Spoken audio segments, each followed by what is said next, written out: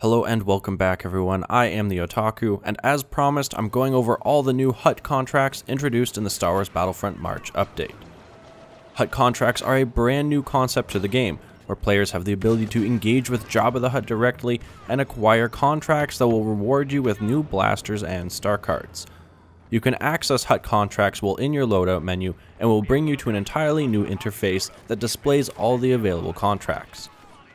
As I mentioned in my March update video, there are currently two contracts available for regular game owners and eight that are Outer Rim exclusive. Five of the DLC contracts are new items, three are simply to upgrade the previous star cards that you unlock. However, if you don't have the DLC, it's not the end of the world. The two weapons made available to regular game owners are actually very good and my favorite thus far.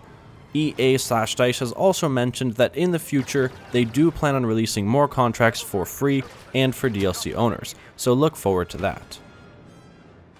Moving on, the first thing that you need to be aware of is that each contract does cost credits to unlock. There is also a slight overlap when it comes to requirements on some of the contracts, and of course you can work on multiple contracts at one time. So with that being said, I highly suggest you follow this guide to unlock everything as quickly and efficiently as possible. Pulling up all the contracts for you, the first group that you can work towards together is the Combat Rush for the Adrenaline Stim card and Hostile Negotiations for the Dioxis Grenade, and then Slug Thrower for the Scatter Gun. Combat Rush requires an objective score of 2500 in the new Extraction game mode. Hostile Negotiations requires 20 smoke grenade uses and blinding 20 enemies with flashbangs. Slug Thrower requires 40 kills with the CA-87 and 20 focus fire charge card uses. The best method for completing this is by going to the Outer Rim playlist, pressing square on your controller so you can select a specific game mode, and then joining Extraction for a few rounds. Keep in mind that after the game ends it will put you back in the regular Outer Rim playlist, so you need to leave and rejoin another game. Coincidentally though, the CA-87 is a perfect blaster for extraction and is very fun to use. If you aren't sure about how to use it, then be sure to check out my blaster review, I will put a link for that in the description below.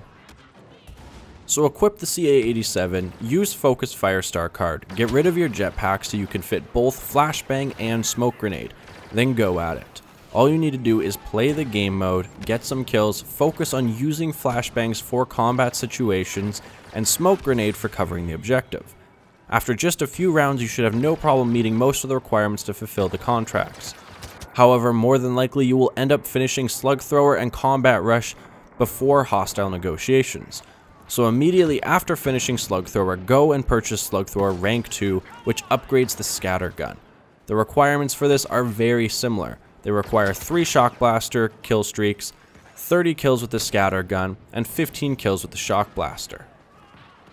Once you got that purchased, if you still need to finish Combat Rush, jump back into Extraction game mode. If you don't, then let's go to another game mode and continue using the CA-87 with grenades and the scatter gun so that we can complete this upgraded contract. After that, we're going to want to go for the Bounty Hunter 1 contract that gives you the DL-18 and the Rhodium Blaster contract that gives you the DT-12.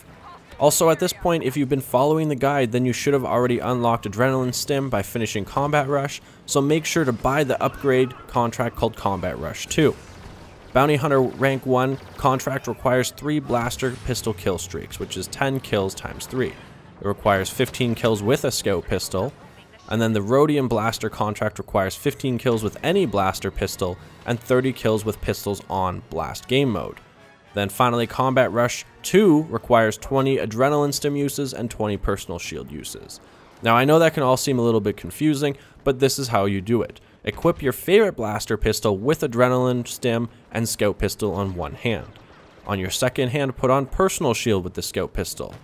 Then go into the game mode, and by getting 30 kills with a pistol on the blast game mode, you're going to be getting the 15 kills with a blaster pistol and completely finishing off Rhodium Blaster contract.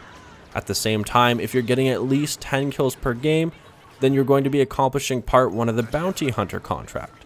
So all that's left is to make sure you're using the Scout Pistol, attempting to get a couple kills with it each game while spamming Adrenaline Stim, and personal shield so you can finish off Combat Rush rank 2. After roughly 3 to 4 blast games, you will be done all 3 contracts and able to enjoy your new weapons as well as upgrade your adrenaline stim. Moving on, we want to work on Targeting Trooper that unlocks the DLT 19X and Contract Killer that unlocks the Relby V10. This is also a very good chance to take care of Hostile Negotiations Rank 2 or finish off Combat Rush 2 if you didn't get it in the last set of unlocks. So pick up the contracts, add them to the to-do list, and let's get to it. Targeting Trooper contract requires 3 targeting rifle kill streaks, 15 cycler rifle kills, 15 headshots. Contract Killer requires 3 targeting rifle streaks, 40 kills with any heavy blaster, and killing 15 enemies with any targeting rifle.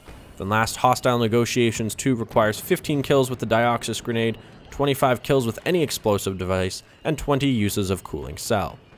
A targeting rifle is essentially something like the T-21B, which is rather difficult to use if you don't know what you're doing, especially in the wrong situations, so if you haven't already, I highly suggest you watch my blaster review video of it before attempting to use it. The link for that is in the description below. So for this, we want to equip the T21B, Cycler Rifle, Cooling Cells, and put on Bounty Hunter trait. Then go play some Walker Assault, Supremacy, or Turning Point. All three game modes are going to offer you plenty of situations that you can do well with the T21, Cycler Rifle, and this loadout in general. Try to do your best to get at least 10 kills in each round with the T21B so you can get those targeting rifle streaks. Focus on getting headshots, spamming out Dioxis grenades, using your bounty hunter pickups, especially the explosives because that's what we need, and then in the end you should be able to finish off targeting trooper, contract killer, and hostile negotiations. Finally, after all that hard work, you will be done with all the contracts and go back to being bored. Thank you guys for watching. Hopefully this helped. Don't forget to like and subscribe or even donate to support the channel. Lots more videos to come shortly, especially on the new Outer Rim content. But until then, as always, may the otaku be with you.